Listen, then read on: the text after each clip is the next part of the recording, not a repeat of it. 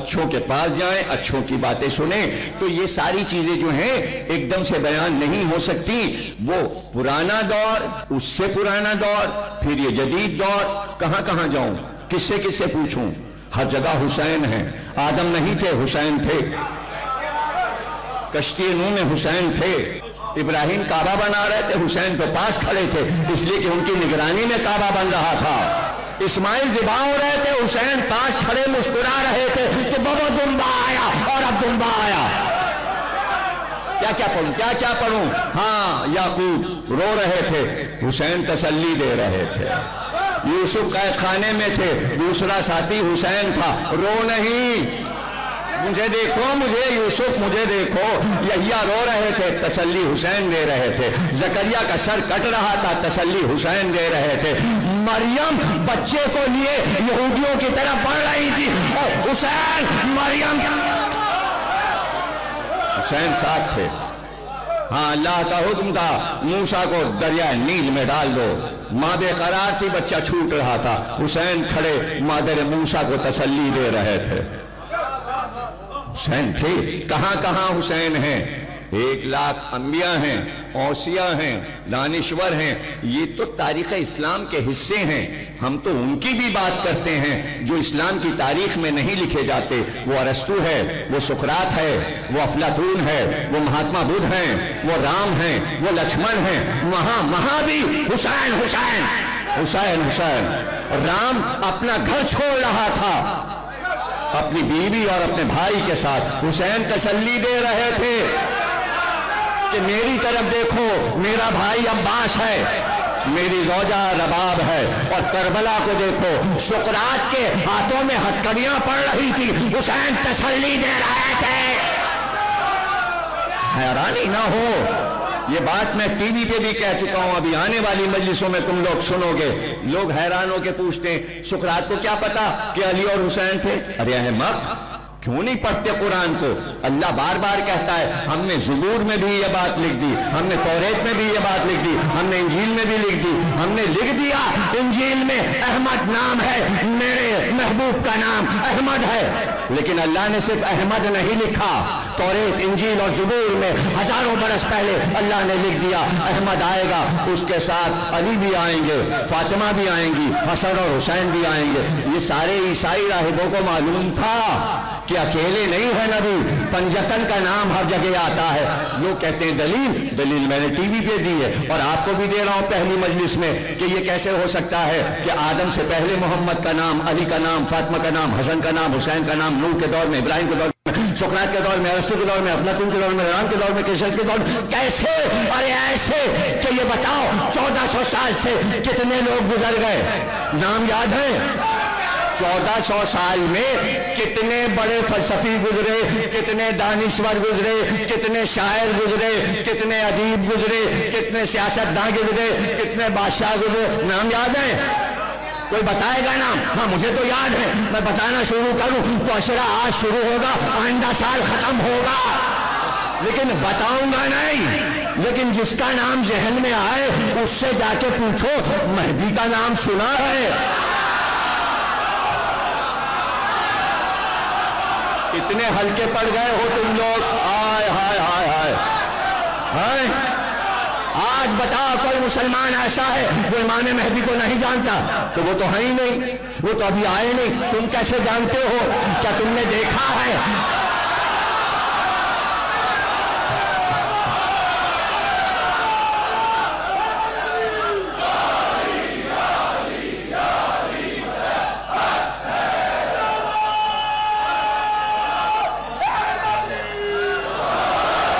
क्यों भाई पुत्तन नाप इमाम मेहदी को जानते हैं। भाई पुत्र नाप इमाम मेहदी को जानते हैं ना? सब आपने सुना है ना? अभी तो नहीं आए। कैसे जानते हैं आप? देखिए, ये जानते हैं। तो आज से पाँच हज़ार बरस पहले यूनान में जो पुत्तन था, वो रसूलुल्लाह को भी जानता था, हज़रत अली को भी जानता था।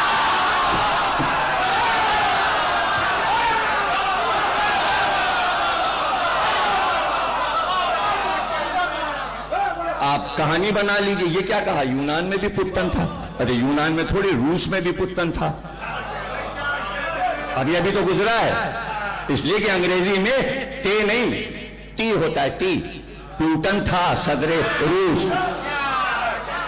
अरे प्यूटन अमरू है तक आते आते पुटन बन गया। अबे, किस तरह समझाएँ? पता चला, आदम के दौर में भी रसूल अल्लाह का ज़िक्र था। मुँह के ज़िक्र में। इब्राहिम क्या भी? इंजील में, तौरेत में, जबूर में, महाभारत में, रामायण में पाशंग में, गज़ल गुजलात, हज़रत सुलेमान की किताब में, सहीफ दानियाल में, सहीफ इदरीस में, सहीफ इलियास में, सहीफ शोएब में, सहीफ जकरिया में, सहीफ यहिया में हर जगह रसूल, अली, फातमा, हसन और हुसैन। तो इसमें हैरत की क्या बात है? पहले से सारे वाकयात मशहूर थे। वाक़ करबला मशहूर था। जैसे इमाम मेहदी मशहूर हैं।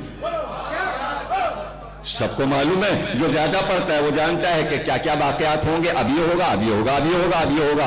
तो इमाम मेहदी अभी आए नहीं, लेकिन हमें नक्शा पूरा मालूम है कि क्या क्या होगा। तो ऐसे ही पुराने लोग, क्या आपसे थर्ड क्लास थे, वो आपसे ज़्यादा वो जानते थे ये करबला है।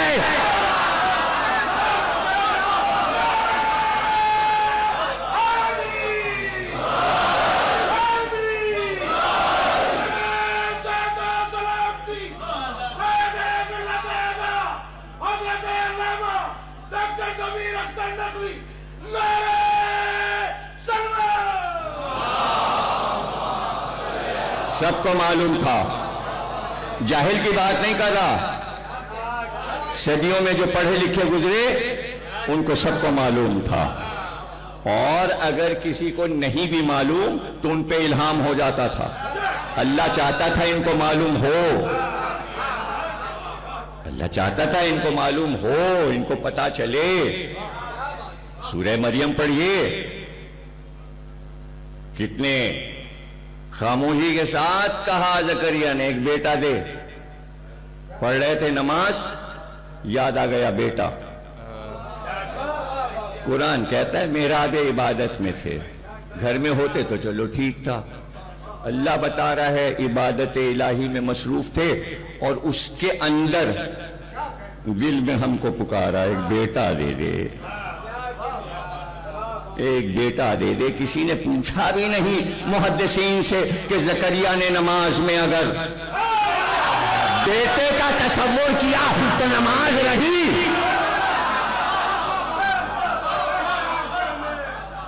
वाह भाई वाह, पढ़ रहे थे नमाज़? नियत थी बेटे की।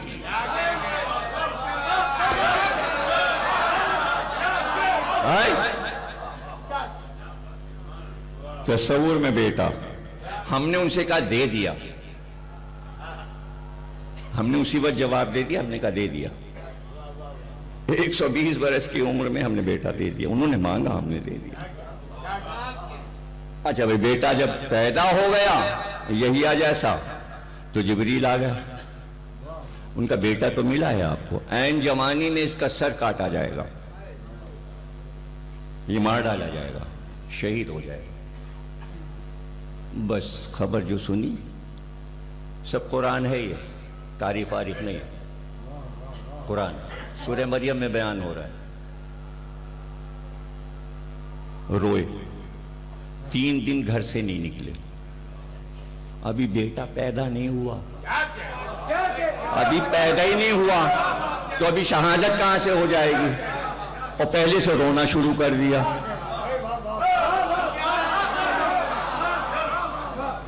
रो रहे घर से नहीं निकले। चुप का रोजा रख लिया।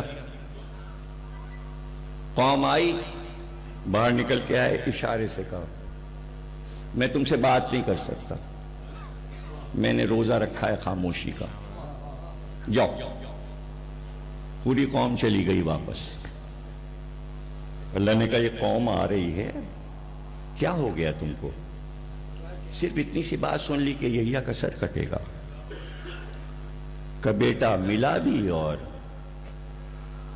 रहेगा भी नहीं, उसका सर कट जाएगा। अल्लाह ने कहा, ये बताओ कि तुम्हें नबी आखिर अज़ीज़ है? जो तुमसे अफजल है। अपने नफ्स पर उसको औला समझते हो, यानी मौला समझते हो। का बेशक परवरदिगार, जाते मोहम्मद मेरे नफ्स से औला है। का तो ये बताओ, तुम्हारा बेटा अफजल है कि मोहम्मद का बेटा अफजल? है का नहीं परवरदिगार? नबी अफजल है तो उसका बेटा अफजल है। का सिर्फ़ तुम्हारे बेटे का सर नहीं कटेगा, उसके बेटे का भी सर कटेगा। अब ये बताओ तुम्हें अपने बेटे की शहादत का रंज है? या मोहम्मद के बेटे की शहादत का रंज? का नहीं, मैं अपने बेटे के गम को भूल गया। परवरदिगार, तूने बताया है तस्वुर में हमारे मोहम्मद आए हैं तस्वुर में हुसैन आए हैं। मैंने पूरा वाकया देख लिया, परवरदिगार, तूने दिखा दिया, तेरा एहसान, तेरा करम। अब मैं हुसैन की सफेदा बिछाता हूँ तीन दिन में यहिया के लिए घर से नहीं निकला, अब मैं चालीस दिन हुसैन के लिए घर से नहीं निकलू। इसीलिए चेहलम होता है। चेहलम तो हुसैन का पहले ही से होता था। मैं चालीस दिन का सोग रखूँगा। इसीलिए हदीस है कि अगर किसी को आजमाना है, मेरी बात की सिदाकत तो सूरह मरियम की तिलावत कमरा बंद करके करे। इधर शुरू करेगा तिलावत, आँख से आँसू बहने लगेंगे और दलील तारीख में आई, जब ईसाई बादशाह नजाशी ने हज़रत जाफ़र तैयार से कहा कि तुम्हारे नबी पर जो कुछ उतरा है उसमें से कुछ सुनाओ। तो जनाब जाफ़र तैयार ने सूरह मरियम की तिलावत शुरू की। कहते हैं, नजाशी की आँख से आँसू बरसने लगे। दरबारी भी रोने लगे। बादशाह भी रोने लगा। इमाम से पूछा गया कि सूरह मरियम सुनकर ईसाई बादशाह क्यों रोया था? इमाम सादिक ने फरमाया, इसलिए कि सूरह मरियम का दूसरा नाम सूरतुल हुसैन सूरह मरियम में हुसैन का ज़िक्र है। कहाँ है ज़िक्र? हाँ, जो यहिया की शहादत है, वही ज़िक्र हुसैन है। बताया रसूल अल्लाह ने। ए हुसैन, जकरिया का सर काट कर बादशाह को तोहफा पेश किया गया था। बात सिर्फ़ इतनी सी थी कि उस दौर का बादशाह अपनी बीवी की, पहले शवर की बेटी से शादी करना चाहता था। लेकिन शरीयत ने इजाज़त नहीं दी ईसाई शरीयत ने। लेकिन जब उसकी बीवी ने कहा और रिश्वत दी पादरियों को तो सब राज़ी हो गए। लोगों ने कहा, यहिया से भी पूछ लो, पादरियों ने कहा। यहिया को बुलाया गया। का मैं ऐसा ख्याल रखता हूँ। आपने कहा, अगर तूने ऐसा किया तो अजाब आ जाएगा। ऐसा किया तो अजाब आ जाएगा। ये किस्से पाकिस्तानियों को सुनाए नहीं गए। वरना मीडिया मज़े ले ले के पंजाब के देहातों की कहानियाँ ना सुनाता। हम मजलिस हुसैन में जा रहे हैं? रोका जा रहा है। मत रोको, वरना जो हो रहा है करप्शन ये होता रहेगा आने दो, सुनने दो, बात समझे, ताकि खौफ इलाही पैदा हो और मार्फत इलाही पैदा हो। अपनी जान प्यारी नहीं थी, यहिया को जान बचा लेते कहते कल शादी हमसे क्या मतलब? का नहीं हो सकता, यहिया इजाज़त नहीं देगा। उधर से उसकी बीवी निकल के आई, बादशाह से कहा, आप जाने मत दो इनको, रोक लो और यही सर काटो। यही जब मुझे खुशी होगी, जब यहिया का सर कट जाएगा। जल्लाद आए, तलवार आई। जल्लादों ने कहा, बादशाह से, अगर ज़मीन पर यैया का सर कटा, हम सब तबाह हो जाएँगे। हम सब तबाह हो जाएँगे। का फिर क्या किया जाए? का ज़मीन पर यहिया का एक कतरा खून ना गिरे। एक बर्तन लाया गया। का लिटाकर गला इनका उस बर्तन पर रखो, ताकि वो बर्तन खून से भर जाए और ज़मीन पर खून ना गिरे। गला काटा गया, मगर हाय इंसानी खून, बेगुनाह खून मासूम खून इतनी तेज़ी से उछला कि सिर्फ़ एक कतरा उस खून का ज़मीन पे गिर गया। एक कतरा। जिन लोगों ने शाम में जारत की है, दरबारे यजीद में ही जहाँ कैदी लाए गए थे, मुई तो सरदफन अभी चेलम में सब जाएँगे शाम मुई तो जारत करते हैं। यही कसर वही दरबार यजीद वही चर्च है, वो चर्च है, वो मस्जिद यजीद नहीं है। उसको शाम लिखता है, मस्जिद बनी उमैया, वो मस्जिद नहीं है। वो जनाब जकरिया और यहिया का पुराना इबादत खाना है, जिसे ईसाइयों ने अपना चर्च बनाया। वहीं तो गए थे आले मोहम्मद। वो दरबार नहीं था। माँ हज़ारों बरस से इबादत होती आई थी। वो तो उस इबादत खाने में यजीद ने बैठ के पहली बार शराब पी थी। वो ईसाई थे, ये मुसलमान था। अपने को देखो, अपने को समझो। गैर अकवाम से मुआजना करो। वो क्या कर रहे हैं? हम क्या कर रहे हैं? सिर्फ़ दुश्मनी काम नहीं आएगी। अच्छाइयाँ ले लो, बुराइयाँ छोड़ लो। यही हर पैगंबर ने कहा, यही हर इमाम ने कहा। उल्टा नहीं करो कि बुराइयाँ भी ले लो और उन्हें गालियाँ भी दो। नहीं नहीं नहीं, ऐसे नहीं काम चलेगा। जो उसूल हैं ज़िंदगी के, उसी तरह ज़िंदगी गुजारो। एक कतरा। उस एक कतरे ने आफत ढाई और कयामत ढाई। ज़मीन को जलजला हुआ। कसर बैठ गया। कसर गिर गया। कसर गिर गया, मिट्टी का ढेर हो गया, टीला हो गया, सदियाँ गुजर गई, लेकिन वो एक यहिया के खून का कतरा पहाड़ों को फाड़ कर बाहर आता था और बहने लगता था और खून की नाली बन जाती थी। एक कतरा एक कतरा। लोग उस पर मिट्टी डालते थे, खून को छुपाते थे, खून को छुपाते थे। जो चुप रहेगी जबान खंजर। लहू पुकारेगा आस्ती का। कातिल परेशान हो जाता है, ज़मीन परेशान हो गई। मिट्टी डाली, फिर लहू। मिट्टी डाली, फिर लहू। हाँ पूछा।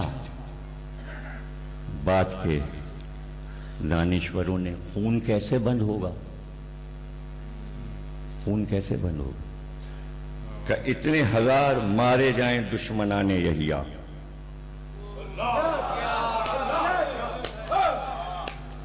उनका कि मारने वाला तो बादशाह था। मारने वाला तो बादशाह था। कह नहीं, जो जो उस कत्ल पे राज़ी था, वो यहिया का कातिल है। आज चौदह सौ साल के बाद जो जो कत्ल हुसैन पे राज़ी है जब तक वो मेहदी के हाथ से मारा नहीं जाएगा।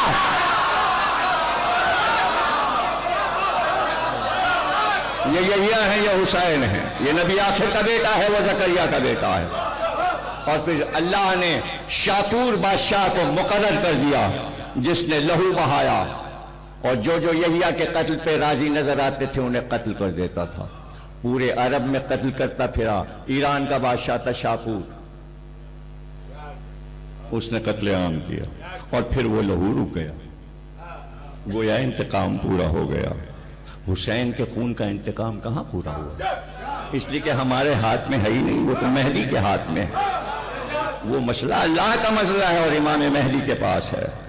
यहाँ तक के उस सर को तश्त में रखकर जब बादशाह को पेश किया गया तोहफे में, बस यही लिखा है।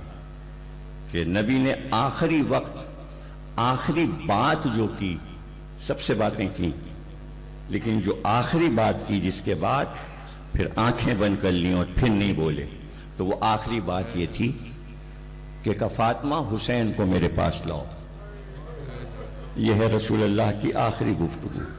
हुसैन आए, पाँच सात बरस के हुसैन तब मेरे करीब आ जाओ। और उठा के हुसैन को सीने पे लेटा लिया। और जब सीने पे लेटा लिया तो एक बार सरकार दो आलम ने हुसैन के सर को दोनों हाथों से पकड़ा। और कहा, हुसैन, मैं देख रहा हूँ कि तेरा ये सर सोने के तश्त में रखकर बादशाह को तोहफे में पेश किया जा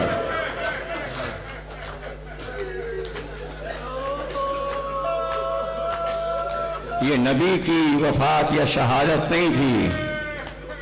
ये हुसैन की मजलिस थी। ये ज़िक्र हुसैन हो रहा था और नबी जा रहे थे। गोया याद दिलाते जा रहे थे, ज़िक्र हुसैन से गाफिल ना होना।